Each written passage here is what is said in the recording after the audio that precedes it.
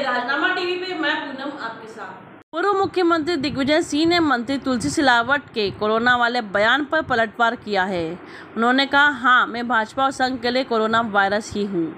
तुलसी सिलावट क्या थे? ये इंदौर के लोग जानते हैं क्या थे और अब क्या हो गए हैं? कहाँ से आए हैं? कौन सा धंधा चलाते हैं तुलसी सिलावट?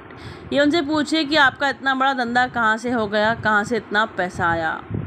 दिग्विजय सिंह ने बुधवार को ये बात इंदौर में कही। उन्होंने कांग्रेस सेवा दल के गुरुवार से शुरू होने जा रहे प्रशिक्षण वर्ग का निरीक्षण किया। बता दें कि चार दिन पहले तुलसी सिलावट ने दिग्विजय सिंह को कांग्रेस का कोरोना बताया था। प्रदेश के जल संसाधन मंत्री तुलसी सिलावट ने पूर्व मुख्यमंत्री दिग्विजय सिंह को लेकर टिप्पणी की थी। उन्होंने कहा था कि दिग्विजय सिंह को कांग्रेस का कोरोना बताते हुए कोरोना की उत्पत्ति चीन से हुई, इसलिए सिंह को भी चीन में ही जन्म लेना चाहिए था।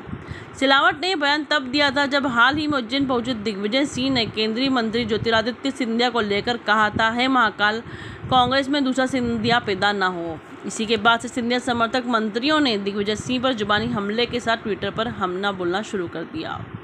इसी के साथ बने रहे राजनामा टीवी के साथ। धन्यवाद।